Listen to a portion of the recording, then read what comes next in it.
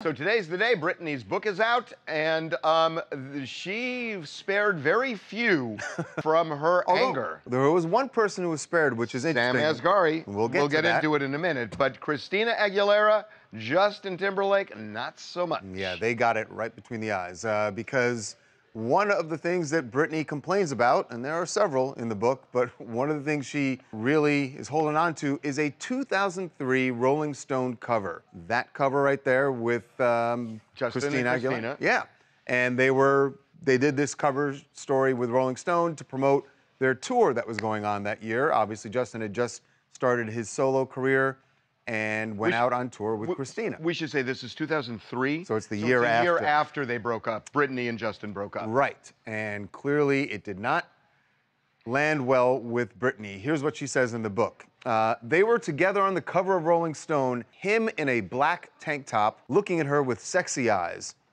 Her looking, am I supposed to do this with a straight face? Yeah, do it with a her, straight face. her looking out at the camera, wearing a lace up black shirt.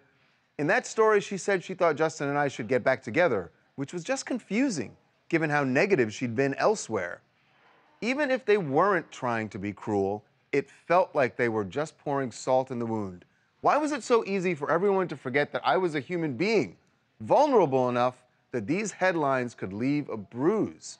So what she's saying is they shouldn't have been on the cover of Rolling Stone. and they shouldn't have promoted their tour. Maybe she's saying they shouldn't have gone on tour together.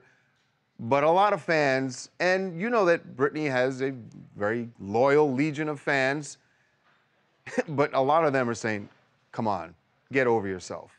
But, Um, but you know what's really interesting about this? So fans are saying that because they like Justin and they like Christina. It's probably Christina. Christina has very loyal fans also who are probably, and Right. they're like, come on, what, what are they supposed to do? They're artists who, and there, a lot of people are pointing out that No, we're they not were gonna- friends also, by well, the way. well, also they were broken up. Just, uh, Justin and Britney were broken up. This is business putting them this on the cover. business, This is and pure by the way, business. and they are friends also. Christina did an interview not that long ago, and she was asked about Britney's book if she was kind of worried that maybe Britney would say something about her, and she's like, "Well, like I hope I'm not in it. I hope we're good," kind of thing. But everyone saw this coming because there has been like some weird tension between them throughout the years. It's really interesting she said that. I hope I'm not in it because she is laying out a lot of grievances in this book. And I know people have grievances in their lifetime and whatnot, but you know, she goes after her family, she goes after Christina, she goes after Justin really hard. She goes after the stupid snake from the VMAs. The snake hissed at her. The- the- the- from the VMA performance, she said that the snake, she thought the snake was going to attack her in the middle. Now, she says that somehow the cameras missed this, but that we didn't see the moment the snake looked her in the eyes, hissed, and stuck out its tongue. And she, at that point, said that she was terrified it was going to attack her. And that's when she, shortly thereafter, then hands it to someone else. So let's talk about the one person who dodged a bullet here, which is Sam Asghari, her estranged husband, soon to be divorced husband.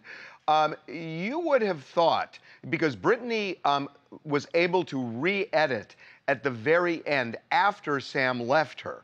And so a lot of people, myself included, thought that she might revise some of what she was saying Mm-hmm. Might about say the something marriage. about the split or, or just take him out altogether. Well, because we knew it was a very acrimonious split. Um, he, w- w- look, we, we have told you about this before that he says she had gotten physical with him before, even injured him. Um, they had screaming matches all the time. So you thought some of that would be in there. It is the opposite. Oh no, she gave him a glowing review, you guys. In fact, she even called him a gift from God and credited him with giving her the courage to speak out about the conservatorship because remember when they first linked up, it was in 2016. He was one of like the actors in her Slumber Party music video. That's how they met. She said she was immediately smitten with him and he was there by her side when she was getting out of this conservatorship and really uh, you know, said that it was because of him that she was able to finally speak out, speak her truth. Um, but yeah, as you said, Harvey, like we know this was kind of a nasty divorce, so it it kind of points to maybe some settlement Oh, yeah. or like getting close to some they, settlement. I think this means that they have worked out whatever their differences And are. there is some non-disparagement clause because remember when we got him 100%. a couple weeks ago, he said glowing things. 100%. Yeah.